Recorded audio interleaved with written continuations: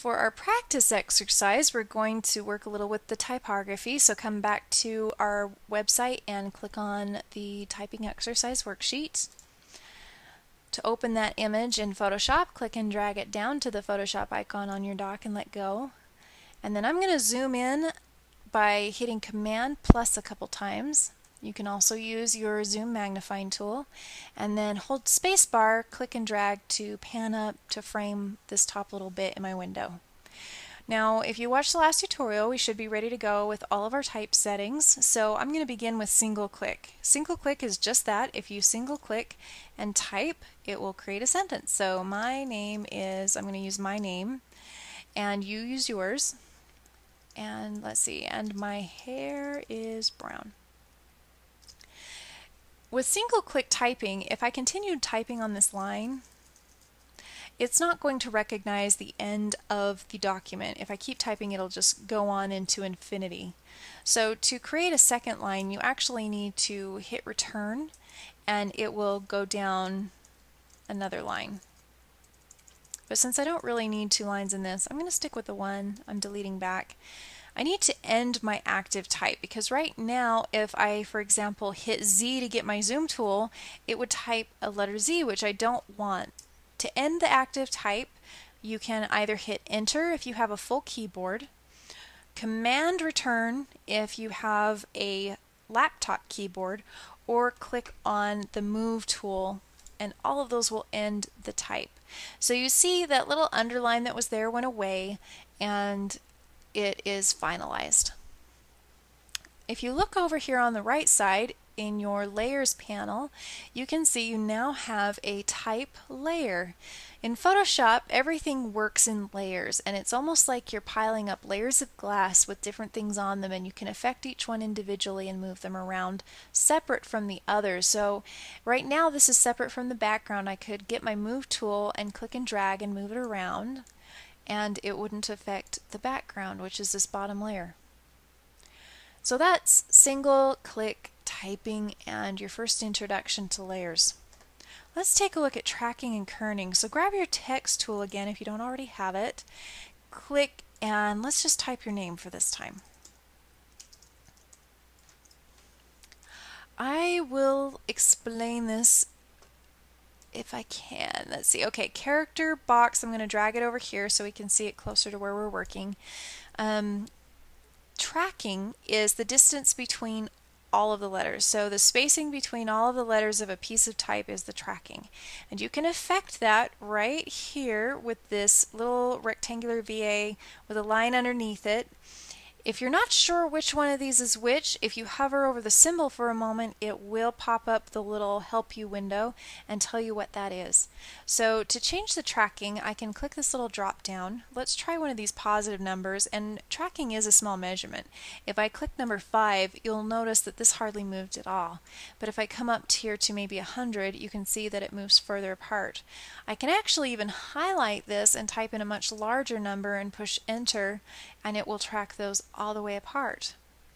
Kerning is the distance between two specific letters and this right here is the kerning and you can see if I just click on it it's not actually available but it will become available as soon as I click between two letters. So at that point I can come in here and select a value. If I choose negative it will move things back closer together. I can set it to zero which is automatic or the way I use it most is to adjust very specifically things between uh, the space between letters. I click between the two, I hold down Option and use the left and right arrow keys and that can move those closer or further apart.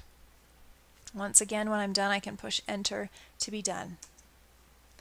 And that's kerning. Kerning is important uh, to use on the fly because not all fonts are made alike. When we get into fonts, you'll really see that some are created very well with the tracking figured out so that there's not large gaps between specific letters. A and V are a classic example. Let's see what this one looks like. I'm going to type A and V. And I'm going to set my tracking back to zero so I can see what it automatically comes with. So this is really close, but you can see with an A and a V, if I pull this out, the tracking looks at the space from the farthest edge of a letter to the other to the next letter's farthest edge and puts those right up together. So sometimes when you get type that has these overlapping letters, you want it to move closer together. So what's a word that has an AV in it? Maybe have. If I click in between those two, I can hold down Option and tab, or not tab, I'm sorry, left arrow over. And then when I let go of Option, I can just left arrow or right arrow between letters and affect each one of those until I'm happy with the results and I can push Enter. So I have a temporary layer on here called have. I want to get rid of it. The way you get rid of a layer in your layers panel is by clicking on it to make it the active layer. So everything that's blue here is the active layer and then click on the trash can. Okay, I need to zoom back out so I'm going to hit command 0 so we can actually see everything that's going on. I'm even going to move my character panel back over here so that I don't need to deal with it right at the moment. Our next one is leading. So zooming back in, what we need is a couple of sentences. So I'm going to grab my move tool and I, what I want to do is make a copy of this single click layer and move it down here to leading so I don't have to type the sentence all over again. Now on my layers box, the layer that I'm actually on is the Rachael Smith layer. And next to it is a little eyeball. If I click that, it'll hide it. If I click it again, it'll show it. But I know that I'm not on the layer that I actually want to affect. The one that I want to move is the single click layer. Once again, a bunch of different ways we could get this. I could simply click on it in my layers box and once I have that as the active layer, knowing it is active because it's blue, then I can grab my move tool and move it around. So let's go with that for right now. Let's make a copy. The easiest way to copy this layer is to click and drag this active layer down to the new layer icon which is next to the trash bin and let go and now I have a new copy. I still have my move tool so I can click and drag it down here to leading. Now I'm going to line it up a little closer to that word leading and you'll see why in just a second. I want my type tool. I can make type active again by simply clicking within the type with my type tool. At that point I could click and highlight and do a copy which I can do by coming up to let's see edit, copy, which you can see is Command C. And then I want to copy on the next line down. So I'm going to move my cursor down to the end of this type and push return to go down a line. And then I want to paste by doing edit, paste. Okay, let's end this type for right now and push enter because what we're going to talk about now is leading. Leading is the space between lines. So I remember the difference between kerning and leading by leading starts with lines. Leading is the space between lines. And sometimes we really need to change the space between lines. Once again, you'll be on whatever layer is active. You don't actually have anything need to have anything highlighted. We can do it to the whole layer at once and leading is the one in your character panel that has an A stacked on top of another A. So if we come in here and choose one of these, I'm going to choose 60, you'll notice that that space became a lot further down and in fact if I grab my type tool and move to the end of this type and push return it's going to be that much further down the next time. Now 60 is a little too far. You can see my second line is clear here below baseline. I actually want to get them both in this one up here. So I'm going to hit enter so that I can affect the entire layer at once and I'm going to come back up here and choose a different number. So what will 36 look like? Eh, That's a little closer. But you know what? This could take a while jumping back and forth between the numbers to see what works. What I'm actually going to do that works even better is grab my type tool, click within the type to make it active, and select everything. So your select everything shortcut, I recommend remembering this because we'll use it a lot, is Command A. So everything in that is highlighted. Now I can change the way the leading is by holding down Option and using my up and down arrows. So in kerning, it's Option left and right, leading is Option up and down. I can even affect the kerning right now if I wanted to. Doing left makes it tighter, doing right makes it further apart. So once you get those two lines lined up between leading, hit enter. All right, what is a baseline? I'm going to zoom in on this little bit that explains about typography. In typography, there are oodles of technical little terms. We really won't be getting into many of those, but I thought it might be useful to have a couple references such as baseline. Now here you can see it, it's the red line, baseline is where the bottom of your average type lines up. So if we look at this Y, the part that goes below the baseline is called the descender. And the kind of the opposite of the baseline is the x height and everything that goes above the x height is an ascender.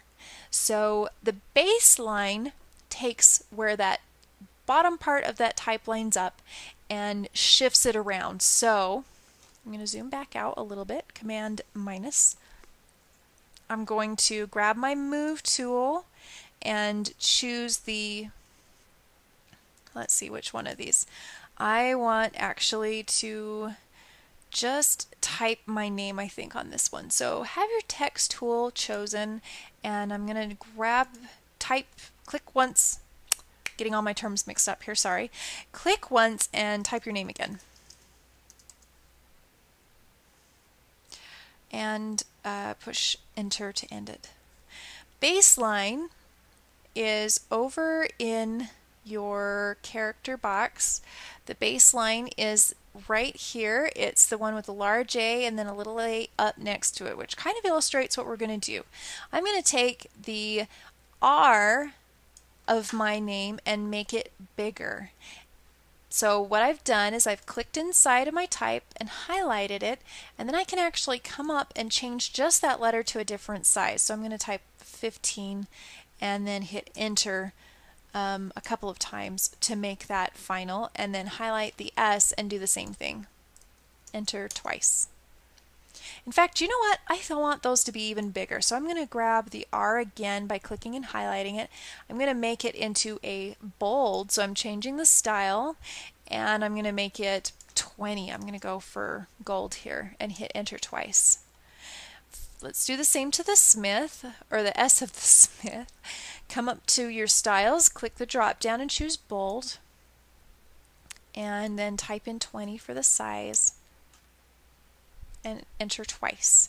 What I want to do is make the rest of the name up higher so it looks like the R and the S are dropping down. So what I can do is highlight that amount of the text and come over to my character box and change this number. So let's see what a 5 looks like. 5 actually looks pretty good. I'm going to actually change it to 4 and then hit enter to finalize that. Come back over here and choose the MITH of my name and do the same thing. So remember we said 4. Now those are exactly the same. What if I wanted to quickly change where the R and the S are. I actually don't have to come over here. I can simply highlight it and hold down Option and Shift and move my arrow up. So I did it twice. Hold, highlight that, Option Shift, click the up arrow twice, and then enter to finish. Okay, so that's affecting the baseline, and we've talked a little bit about the typography types. You should be fairly clear on what leading tracking, kerning, and single click typing are, and we'll move on to the next one.